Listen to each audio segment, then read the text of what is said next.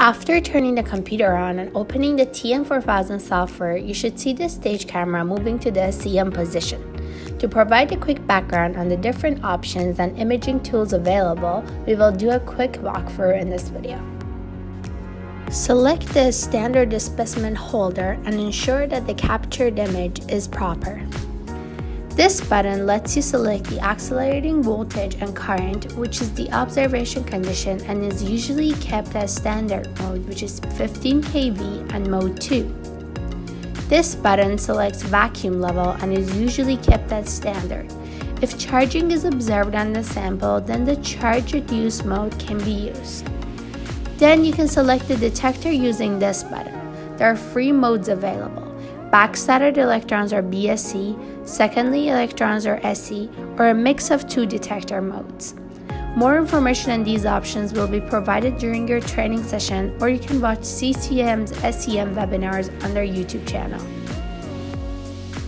And then you can click Start Observation, which is the green button at the top left corner of the screen to turn on the high voltage. This should take a few seconds as the software sends the info to the microscope. There are three scanning modes available. Fast is where you want to do your adjustments and modifications on the image, and as the name suggests, it quickly scans the image. Slow gives higher quality scans because it scans slower. And finally, reduced only scans a reduced section, which is great for adjusting your focus or astigmatism, especially at higher magnifications.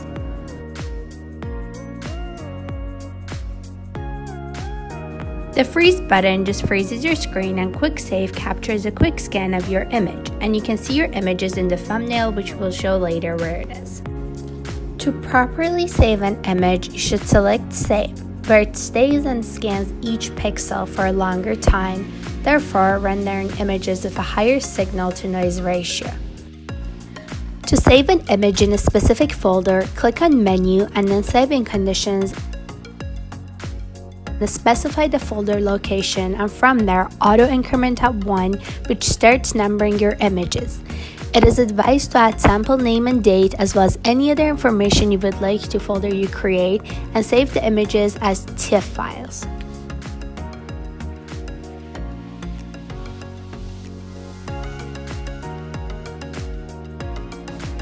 If you want to move to a specific part of the image, you can click on these buttons or you can double click on the specific part and the software will center that position for you.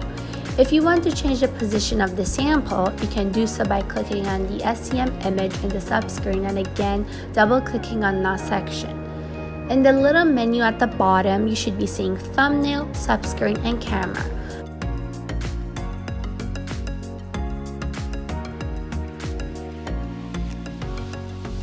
Thumbnail stores every image you save and from there you can perform some analysis on the image or review later.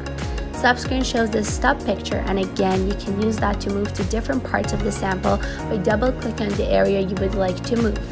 And camera retakes the picture of the sample stub, which you only probably need at the beginning when you're setting up the camera position.